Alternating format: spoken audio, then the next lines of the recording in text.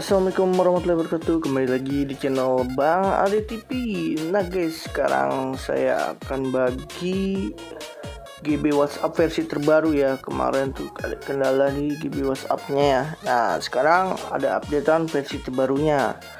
Nah versi terbarunya sekarang kita cek untuk lihat ya Untuk versi terbarunya. Nah di sini versi terbaru GB WhatsApp versi V929 Dan ini versi terbaru WhatsAppnya ya Nah, sekarang kita cek untuk bagian pembaruan. Nah, kita cek untuk daftar perubahannya. Dan di sini emergency fix Google Play Store harmful apa ya wrong art. Nah, itulah pokoknya bahasanya.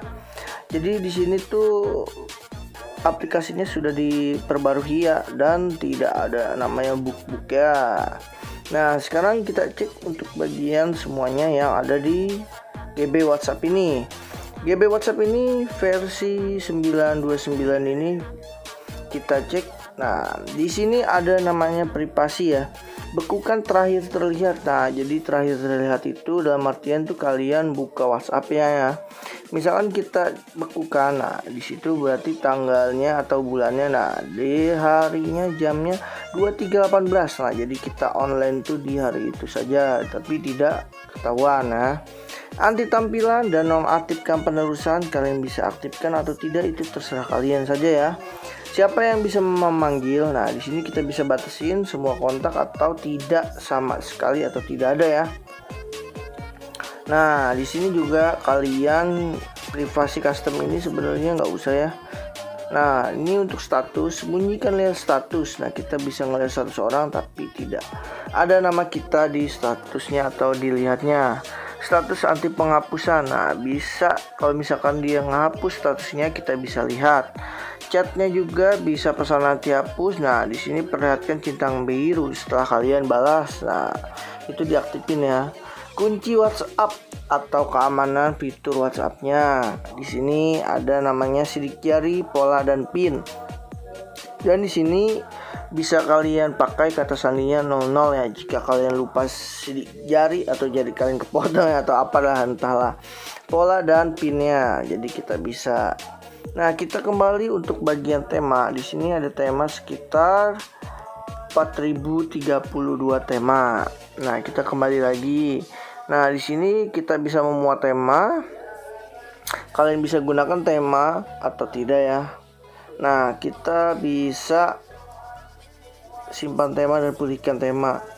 Dan untuk bagian umum ini untuk pewarnaan ya untuk warna kalian bisa sesuaikan dengan yang kalian inginkan. Gaya dan tampilan. Gaya tampilan seperti old WhatsApp, iOS One, Facebook, Android O, sistem emoji eksperimental. Dan di sini juga ada gaya tulisan atau font ya. Font ini kalian bisa gunakan kalian tinggal pilih saja font yang kalian inginkan. Dan ikon peluncur. Nah ini ikon peluncur ini seperti gambar ya. Nah di sini juga ubah ikonnya. Kalian bisa juga ubah dan terserah kalian. Kita kembali lagi dan untuk gaya tiga tampilannya ya. Dan ini sembunyikan dan ini juga untuk cadangkan dan pulihkan dan kalian bisa cadangkan WhatsApp dan kalian bisa pulihkan WhatsAppnya nah itu untuk cat-cat yang kalian inginkan Nah, di sini juga kalian bisa bersihkan cadangkan catnya jika kalian tidak ingin melihatnya. Kita kembali dan untuk pengaturan. Nah, ini untuk pengaturan bisa kalian aktifkan atau tidak itu terserah kalian ya.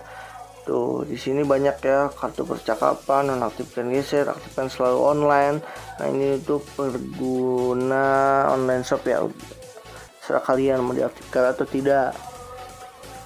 Nah, di sini kita bisa kembali lagi ya dan untuk bagian beranda dan ini untuk beranda kita bisa gaya navigasi WhatsApp UI stock install nah bubar sekalian ya nih. Obrolan grup terpisah set nama. Nah seperti ini. Nonaktifkan status. Nah, bisa kita aktifkan atau enggak ya? Tampilkan mode cahaya malam atau enggak. Nah nonaktifkan klik WhatsApp. Ini latar ini untuk pewarna ya. Barisan. Dan untuk barisan ini gaya rumah layar utama ya. Ini gaya rumah layar utamanya kalian bisa ubah sebagai contoh ini coba kita lihat ya depannya. Nah ini sama ya. Berarti di depan rumah itu depannya kali ya mungkin. Nah kita masuk lagi ke wajah wajah wajah wajah. Nah ini untuk bagian warna ya. Kalian bisa ubah di warna kalian. Dan barisan juga sama ini warna tombol aksi kapung ini untuk bagian warna status nah ini untuk warna kalian ya ini, ini untuk status bisa sampai 5 menit ya. 5 menit jika tidak menggunakan atau maksudnya itu dalam artian itu kalian aktifin dulu baru bisa. Jangan sampai kalian belum aktifin kalian bikin kok nggak bisa. Itu ini bisa ya jadinya. Dan untuk sudut foto bisa sampai 100 terus bulat pokoknya bisa ya melihat pemberitahuan cerita nih bisa kalian aktifin atau enggak ya? Kalau saya saran sih jangan. Jadi kegiatan yang bala guys. Soalnya kalau ada status ya apa ketahuan. Bisa ngeliat sos kita ketahuan. Itu layar percakapan bila kutu. Nah ini untuk bagian warna atau nonaktifkan kontak. Nih kayak seperti ini ya. Kalian bisa aktifin atau enggak gaya gelembung kutu. Nah ini mah gaya centang ya. Ini mah masih sama ya nggak ada perubahan. Untuk warna juga. Gambar. Nah ini untuk gambar juga. Kalian bisa ngirim ya sampai lebih dari 10 gaya opsi percakapan. Nah ini untuk warna juga. Opsi lain warna. Pengaturan opsi terjemah. Nah di sini kalian bisa aktifin atau enggak ya? Terserah kalian. Nah sekarang kita untuk gunakan namanya WhatsAppnya. Nah di sini bisa kita chat ya.